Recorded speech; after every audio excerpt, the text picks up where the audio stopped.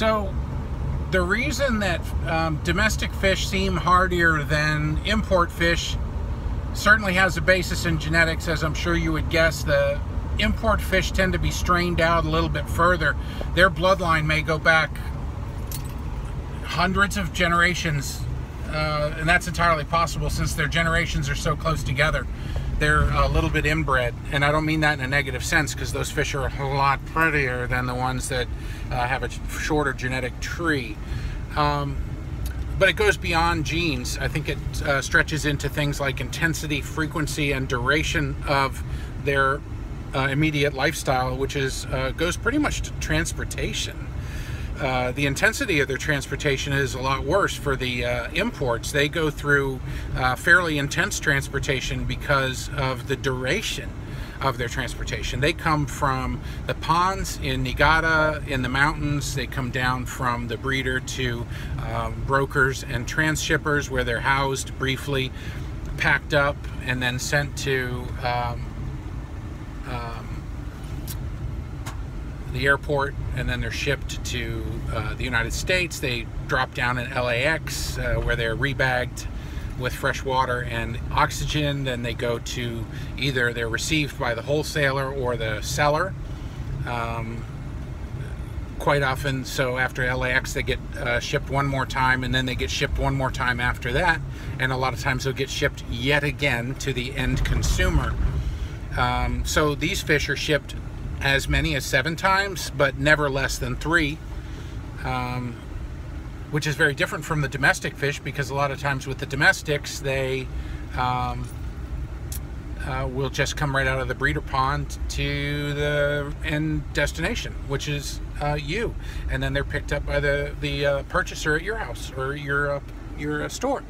So the uh, intensity of transportation is um, considerably less based on the, the duration uh, while the fish are in the bag, life is a lot harder because of the, the, duration. The ammonia in the bag accumulates, the pH falls a lot lower, and the fish are jarred around and banged up uh, considerably worse. So transportation is a huge thing, but also the um, frequency of transportation is, is outrageous because they're transported so many times to get where they're going. So frequency, intensity, and duration are drastically different for the uh, imports. Plus the strain is um, the um, strain of the fish, the line breeding and uh, inbreeding and that sort of thing, are um, significantly different. The um, familiarity with certain diseases, when those fish get on the ground, they're not accustomed to some of the diseases that are here. Um, so some simple bacteria or virus or uh, parasite that we have here commonly and that our domestic fish have been used to for uh, generations. When the Japanese fish come over, they go into our facilities and they've never seen a particular Nella or Bodo or uh, parasite and they're exposed to it for the very first time. Their immune systems have never seen it before and it ravages them. That's uh, not as common as mainly the transport issues. So there's genetics, there's uh, uh, adjustment to certain parasites and bacteria, but mainly it's transportation. What you'll notice is people uh, assert that it's genetics. You'll notice um, that after the first year, the season, after the first season, the, the fish are pretty much equivalent as far as their vulnerability to disease.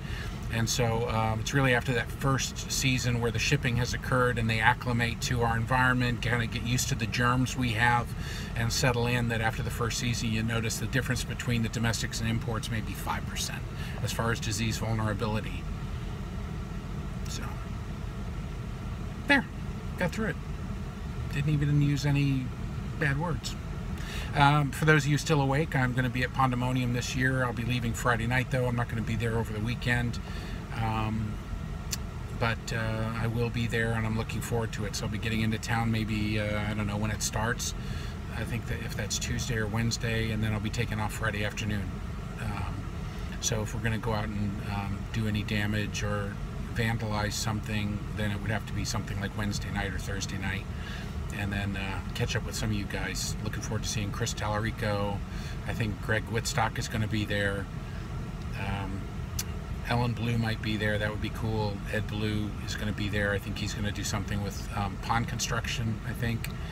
Um, and uh, anyway, I'm looking forward to all that. seeing you guys again. I uh, appreciate your patience and time, and uh, see you soon.